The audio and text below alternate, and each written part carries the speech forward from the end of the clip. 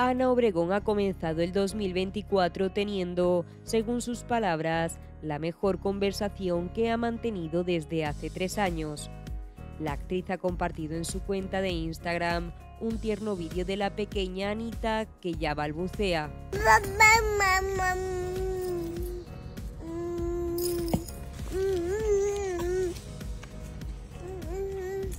Sí, vale. Muy bien, sí. Sí. sí. Claro.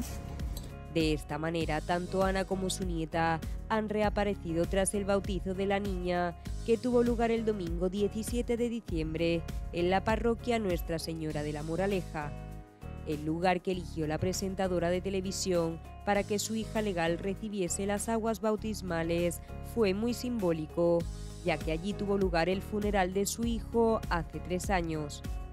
Ahora, ambas comienzan el 2024 con fuerza y viviendo momentos inolvidables juntas.